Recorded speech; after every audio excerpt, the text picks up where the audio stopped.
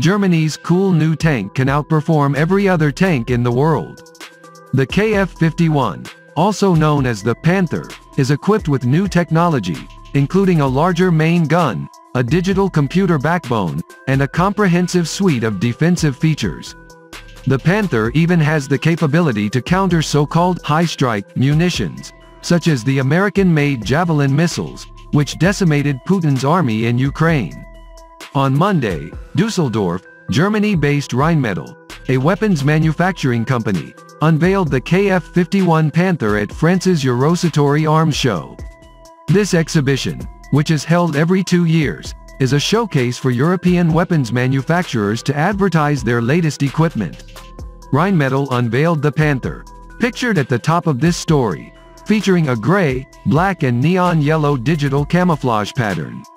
If the name Panther is familiar, that's because it is.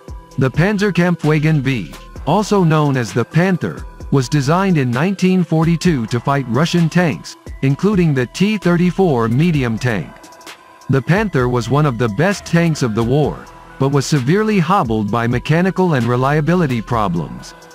The Panther debuted at the Battle of Kursk in 1943, and served on both the Eastern and Western fronts, including D-Day and the Battle of the Bulge. The KF-51 was the successor to the Leopard 2, the contemporary American M1 Abrams tank. The Leopard 2 debuted in the early 1980s and is still in service today with more than a dozen armies around the world. The Leopard 2 was continuously improved over the decades, with the most recent version being the German Army's Leopard 2A7. Unfortunately, as with many upgraded systems, there eventually comes a time when it becomes impractical to keep adding new things to the old system. The only way forward is to design something completely new.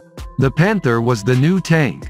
It appears to use the basic Leopard 2 hull design, although the shape of the hull suggests newer, thicker armor on the front and sides. The Panther retains the Leopard 2 lines above the engine compartment, but with a pronounced bulge.